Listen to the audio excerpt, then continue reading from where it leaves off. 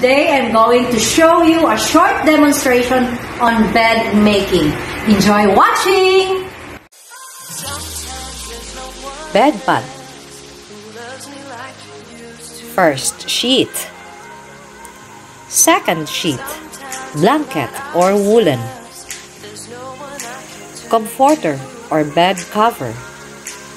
Pillow with pillow case. Step 1. Lay down the bed pad on the bed. Place it on the top of the mattress. Center it and smooth it flat over the bed.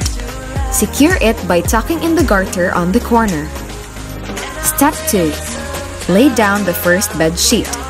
Place it evenly on the top of the bed with the center down.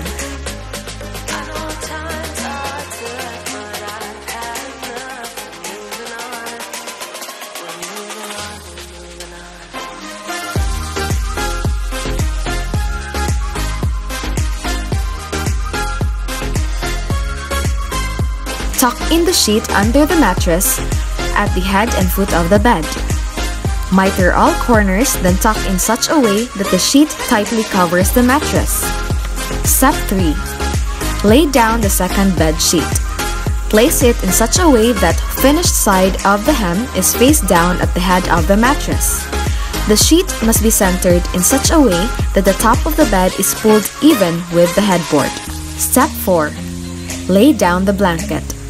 Put on the top of the second sheet about 6 inches away from the edge of the mattress.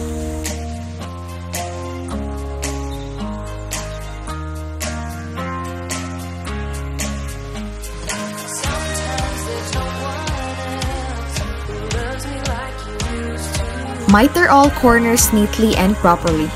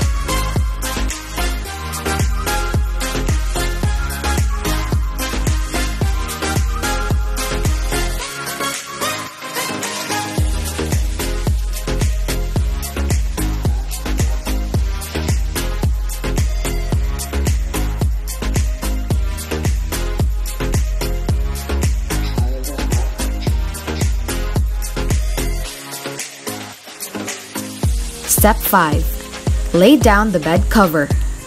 Secure always the bed cover at the center.